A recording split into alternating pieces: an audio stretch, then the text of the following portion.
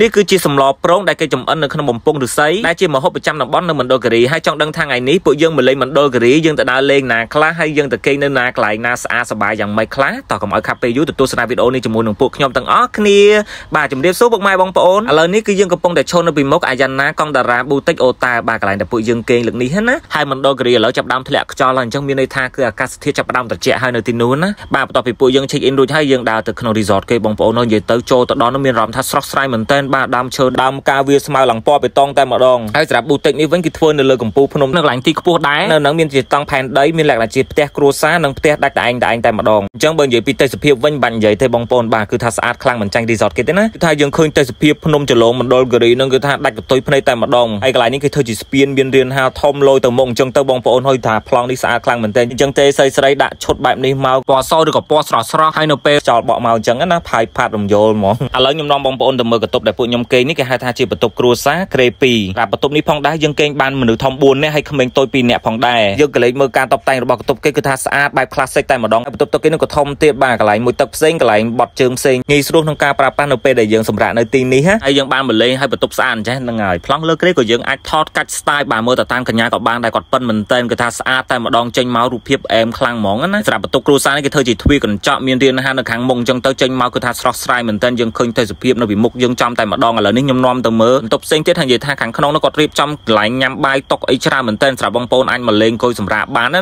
នេះយើងដើរចុះទៅខាងក្រោមដើម្បីទៅបង្ហាញតង់ផែនដីណាបងប្អូនហើយផ្លូវដើរចុះខាងក្រោមនោះគេដាំដើមតែបាទសងខាងខ្ពស់ខ្ពស់អញ្ចេះទៅគឺថាស្អាតម្យ៉ាងដែរខ្ញុំឆ្លាញ់ថានៅរដូវកាលនេះខ្យល់បក់មកលំភើលំភើត្រជាក់ស្រួលមែនតើសម្រាប់តង់ផែនដីគាត់នេះគឺក្រេមួយគេងបានមនុស្សធំពីរនេះហើយកូនក្មេងតូចម្នាក់ផងដែរទប់ទឹកមិនសិនត្រជាក់នៅខាងក្នុងរបស់ប្រើប្រាស់ម៉ាសេតតែម្ដងខាងក្រៅមានរៀនហាលចេះមានដាក់តុកមកយើងអាចអង្គុយមើលទេសភាពបានយ៉ាងល្អបាទហើយកន្លែងគេនេះក៏មានលក្ខណៈជាបឹងគីឡូបន្ទប់ក្រេមួយជាលក្ខណៈជាផ្ទះថ្មតែម្ដងមានលក្ខណៈជាបន្ទប់ផ្ទះពីរជាន់ហើយជាមួយនឹងមួយជាន់ផ្ទាល់ដីវិញទៀតតាមកន្លែងផ្ទះមួយមួយហ្នឹងគាត់មានធ្វើតុកមានកៅអីយើងអង្គុយលេងលំហែប្រារម្ភអញ្ចឹងទៅនេះជាបន្ទប់បឹងគីឡូក្រេមួយដែលធ្វើឡើងនៅតាមជំរេភ្នំមានសួនជុំវិញតែបន្ទប់នេះយើងអាចគេងមនុស្សធំពីរនាក់ហើយកូនក្មេងម្នាក់ហើយរាល់បន្ទប់គេតុបតែងនៅទីនេះគឺលក្ខណៈបែប classic គឺថាមើលទៅមិនសាំភ្នែកណាបងប្អូនតែស្អាតអនាម័យល្អបើមិនអញ្ចឹងទេបើសិនជាបងប្អូនមានតង់ចរិតខ្លួនឯងគាត់មានទីតាំងឲ្យបងប្អូនអាចបោះបានណាហើយគាត់មានកតុបទឹកជាមួយនឹងទឹកក្តៅត្រជាក់បងប្អូនអាចប្រើបានមកស្រួលហើយរដូវកាលគ្រឹះស្បាខាងមុខនេះចិត្តមកដល់ហើយកុំភ្លេចណាបងប្អូនអាចមកគេងនៅទីនេះបានបានលក្ខណៈជាគ្រួសារមិត្តភក្តិគូស្នេហ៍គឺថាត្រូវមែនតែនព្រោះថា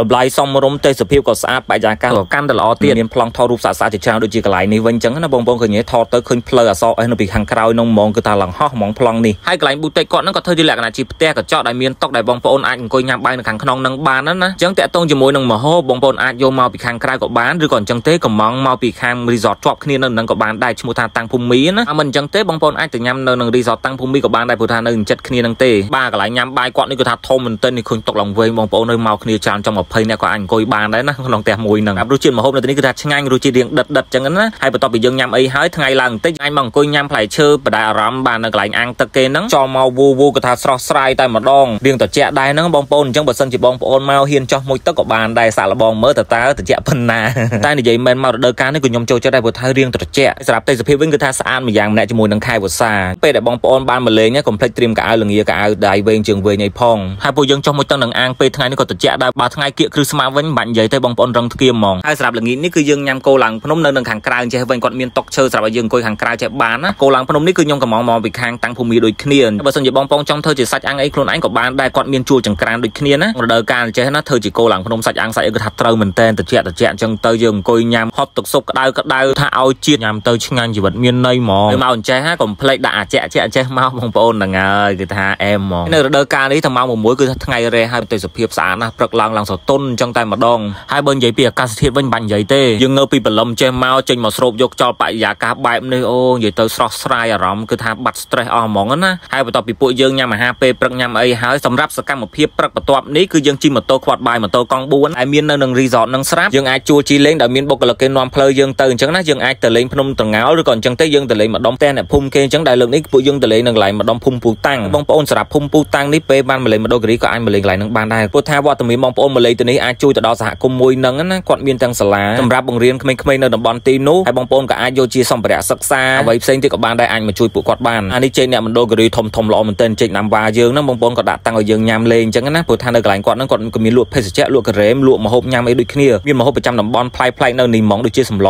ប្រងដុតជាមួយនឹងបំពង់ឫឫស្សីបីតែសាច់មាន់សាច់ត្រីក៏គេដុតជាមួយនឹងបំពង់ឫស្សីដែរនេះបងប្អូនគេដាក់ដុតអញ្ចឹងណានិយាយទៅខ្ញុំធ្លាប់តែញ៉ាំបាទអត់ដែលឃើញតែគេធ្វើយ៉ាងម៉េចណានេះគេធ្វើសម្លធ្វើអីហើយយកមកដាក់នៅក្នុងបំពង់ឫស្សីដុតអញ្ចេះយកតែម្ដងគេថារសជាតិវិញគឺថាដិតដិតឆ្ងាញ់មែនទែនសម្លប្រងបែបលក្ខណៈក្លោប្រហារៀងហិលហិលមិនប្រហុករៀងចាស់ចាស់ណាបងប្អូនតែឆ្ងាញ់ប្លែកអាចមកសាកបានព្រោះថាយើងមកញ៉ាំទៅនេះក៏ដូរជួយនឹងពួកគាត់ដែរលើណាមដែលចោលទេទិញដលងផ្ញើអ្នកផ្ទះអញ្ចឹងណាបងប្អូនហើយដលងនេះគឺសិតដលងអ្នកភូមិអ្នកស្រុកដែលគាត់ដាំហ្នឹងណាបន្ទាប់ចេញពីកន្លែងហ្នឹងមកយើងជិះកាត់តាមផ្ទះអ្នកភូមិយើងអាចគយគុណទេសភាពតាមផ្លូវគឺថ្ងៃនេះគឺខ្ញុំនាំបងប្អូនទៅមើលកន្លែង view មួយទៀតហើយនៅម្ខាងប៉ែកភូមិពូតាំងហ្នឹងគឺថាស្អាតហ្មងដែលកន្លែងហ្នឹងភាគច្រើនគេមកអង្គុយលេងនៅទៅហ្នឹងបោះតង់ក៏បានដែរបើសិនជាបងប្អូនមានគ្នាច្រើនអាចមកបោះតង់នៅហ្នឹងបានចាំខ្ញុំ pin location នៅលើផែនទីនៅក្នុង caption ខាងលើឲ្យបងប្អូនបានស្គាល់កន្លែងនេះហើយនិយាយថានេះឃើញចលងភ្នំដាច់កតុយភ្នែកអញ្ចឹងតែម្ដងមានទឹកជ្រោះហូរនឹងពីក្រោមនឹងទៀតគឺថាអូយស្អាតខ្លាំងណាស់នៅខាងក្រៅត្រាប់ផ្លូវចូលមកយើងអាចជិះម៉ូតូក៏បានជិះម៉ូតូកង់4ជិះក៏បានដែរបើរឿងឡានរៀងបាក់ចូលបន្តិចដោយសារតែវាមានផ្លូវច្រោះដាច់កន្លែងខ្លះណាវិញទៀតផ្លូវមកពីភ្នំពេញទៅមណ្ឌលគិរីយើងនឹងកន្លែងម្ដុំអូរាំងបងប្អូនដែលដាច់មុនឥឡូវនេះគេធ្វើចិត្តរួចមែនតើហើយសម្រាប់ទីតាំងរបស់អាយ៉ាណាកាន់តារាប៊ូតិចអូតែវិញគឺងាយស្រួលទេ